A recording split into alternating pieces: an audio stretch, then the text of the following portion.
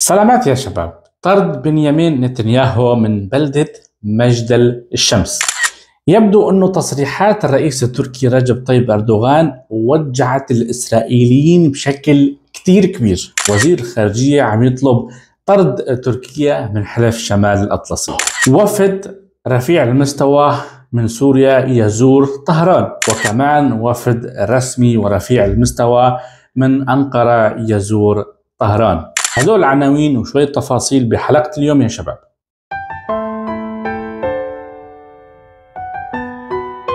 فاذا يا شباب خلينا نشوف التفاصيل. كلياتكم شفتوا وسمعتوا الأخبار في الأيام الماضية. آه، بلدة مجدل الشمس اللي تعرضت للقصف واليوم آه، شايفين نحن زيارة نتنياهو إلى هذه البلدة. وبصراحة يعني أهالي البلدة طلعوا ضد زيارة نتنياهو والكل هتف بشعارات تندد بهذه الزيارة وبالأحرى يعني قلعوا تقلية هدول بالشوارع. تمام يا شباب؟ فبرافو.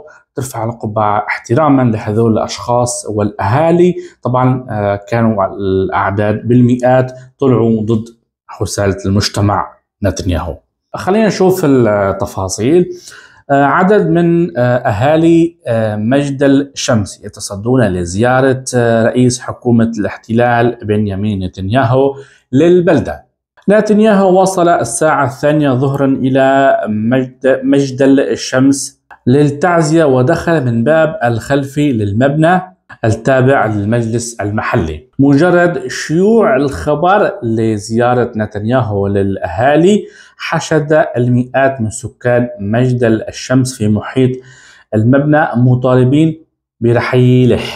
سكان البلدة رددوا شعارات وهتافات تصف نتنياهو بال قاتل والمجرم وقال للأطفال وقتل الأطفال دعوا إلى مغادرة البلدة.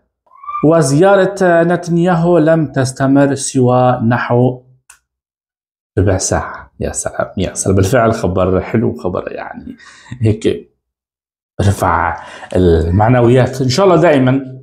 وبالفعل يا شباب آه، يعني شوف خليني أحكي لك التصريح الثاني عن آه، وزير الخارجية وزير خارجية إسرائيل.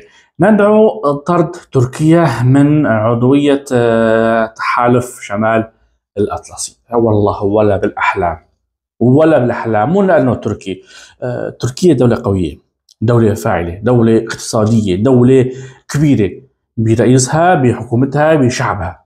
هذا الكلام منطقي وواقعي بغض النظر. تمام يا شباب اليوم وزير الخارجية عم يطالب هون شفنا ردود فعل. بالفعل بعد تصريحات أردوغان قال لك نحن دخلنا لكرباغ ودخلنا لليبيا واحتمال ندخل على إسرائيل. شو شو بيمنع؟ شو بيمنع؟ فهون تشوف المسؤولين الإسرائيليين يا شباب صار في عندهم نوع من التخبط. كل مسؤول بيحكي شكل. كل وزير بيحكي شكل. عضو الكنيست عضو الوزارة المصغرة عضو الخارجية الداخلية كله عم يدلي بتصريحات ما أنزل الله بها من سلطان. ما في ما في تحس في تفرقة ما بين المسؤولين. يعني كل واحد عم يحكي شكل كل واحد تصريحه شكل. ويا هل ترى بالاساس بالأساس إذا رجعنا ليش نتنياهو ما عم يرضى لا ما عم يرضخ أو بالأحرى ليش ما عم يرضخ لتبادل الأسرى؟ ليش ما عم يوافق؟ كل الأمور كل المعطيات عم تقول لك في آه، صفقة. بس ليش؟ نتنياهو أصبح منبوذ من شعبه. هو اللي جاب البلع على شعبه. هو اللي عمل العمايل. فقال لك إذا عملنا آه، تبادل أسرى وعملنا هدنة. فهون شو راح يصير؟ يعني راح يقول لك إنه الشعب راح يهدى نخلص شوي من الحرب. فراح يطالبوا بإقالة نتنياهو من آه، وزير آه، رئيس الوزراء من رئاسة آه، الوزراء. فهون عنده تخبيصات كبيرة نتنياهو كلاتنا بنعرف ب 7 أكتوبر 2023 كل الناس بيعرفوا آه ذلك اليوم. حتى في مسؤولين في في إعلاميين حكوا إنه هن لهم خبر. طبعا ما فينا نعمق كثير بالأخبار مشان سياسة اليوتيوب. وفي أخبار في قيل عن قال ويا جماعة في في تخبطات. بتشوفوا مرة مسافر مرة جاي مرة رايح حتى مثل ما حكينا قلعوه من آه، البلدة مجد الشمس. واليوم وزير وزير الخارجية عم يقول لك لازم نطرد تركيا من حلف شمال الأطلسي. يا عمري أنت وين رايح؟ تركيا دولة كبيرة رابع جيش بالحلف الأطلسي عنده عنده قاعدة أمريكية بتركيا. وين رايح أنت بهالزحمة؟ وشو بدك تطالب للطالب؟ وأما الخبر الثاني يا ساده الكرام عن زيارة عدة مسؤولين كبار إلى طهران لتنصيب أو تنصيب رئيس إيران الجديد مسعود بزكتشيان.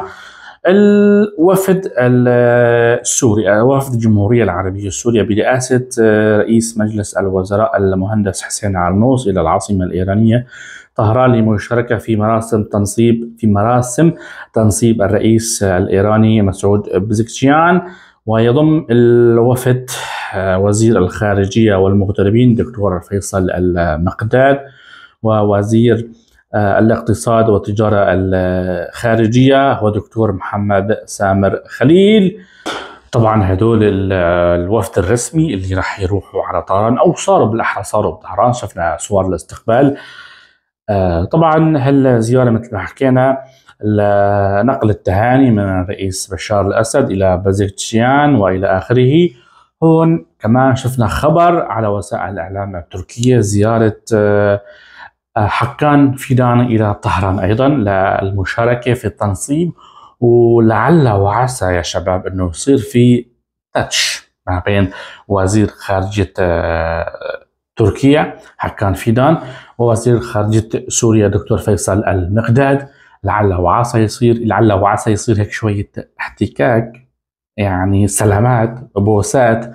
آه، لعل وعسى تكون بادرة خير يا شباب. نحن نتأمل الخير دائما بين كل الدول آه، المصالح آه، مصالح الشعب اولا وأخيرا كل هذا كل هالأمور لصالح الشعب السوري فنتمنى الخير إنه يكون في بادرة خير للإصلاح وإصلاح الأحوال ما بين سوريا وتركيا. طبعا الخبر الأخير يا شباب عن التعزيزات التركية وقواتها ب منطقة غصن الزيتون. شفنا خلال الشهر الحالي الشهر السابع العديد والعديد من التعزيزات والعربات والنقل الجند اللي صاروا بمنطقة غصن الزيتون. يا هل ترى شو هالتعزيزات اللي راحت على الشمال السوري؟ تفاصيل الخبر يعني أنا راح أعطيك نبذة عن الخبر. ريف حلب الشمالي 18 تموز استقطبت قوات التركية عربات عسكرية بينها عربات وحشود لقواعدها آه، كفر جنة في منطقة غصن الزيتون شمال حلب. 21 تموز دخلت دخل آه، رتل عسكري تابع للقوات التركية يتألف من ست عربات وسيارات مصفحة. عبرت عبرت معبر باب السلام الحدودي مع تركيا وتوجه رتل إلى النقطة التركية الواقع بقرب بلدة مرمارين آه، بريف مدينة عفرين ضمن منطقة غصن الزيتون آه، يا هل ترى هالتعزيزات لمين؟ لمحاربة مين؟ ضد مين؟ مع مين؟ الله أعلم خلال الأيام القادمة نشوف ده طبعا طبعا خلال الشهر السابع كل يوم كان في تعزيزات في جنود في آليات عم تدخل الأراضي السورية. يا هل ترى آه على كل حال خلال الأيام القادمة رح نشوف التفاصيل عن هذا الموضوع. هذا فيديو اليوم إن شاء الله ينال إعجابكم يا شباب. ضلوا بخير والسلام عليكم ورحمة الله.